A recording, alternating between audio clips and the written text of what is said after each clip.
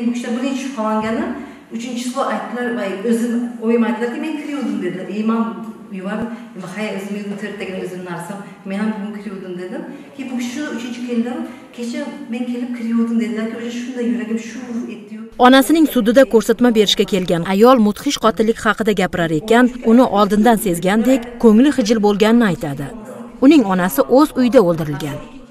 Ikkita sim kartaga bir sakkiz janjal vaqti o'lgan vaqtda telefon qilavergan o'sha vaqt gudok ketdi olmadilar.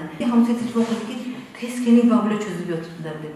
Shunday kelsam уже shu oyoqlari nima voy peshonasi shishgan. Keyin hamsolar ey bu kishi man aytdim bu kishi o'zi o'lgan emas bu kishini o'ldirgan dedim bu yerga bir parcha svoch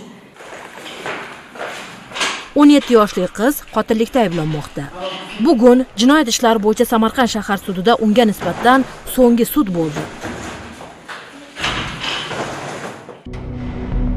Samarqand shahrida yashovchi yetmish besh yoshli ayol jasadi uyining yotoqxonasida qotillik alomatlari bilan topilgan.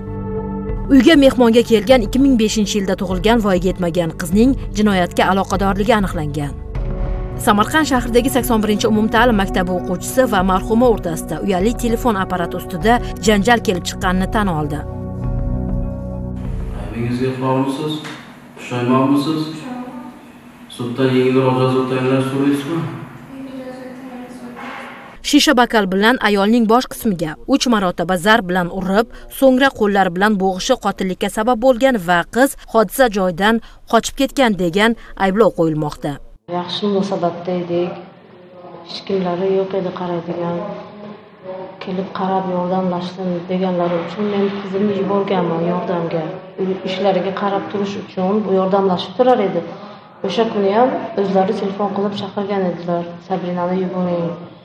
Menga qarash uchun deganlarida men yuborgan hech qanaqa unaqa yomon niyatda yomon maqsadda yuborganim yo'q qizimni ham unaqa yomon maqsadi ham bo'lmagan. Bugun sudya ma'ruf ro'ziyev voyaga yetmagan sudlanuvchining qilmishiga oid hukmni e'lon qildi.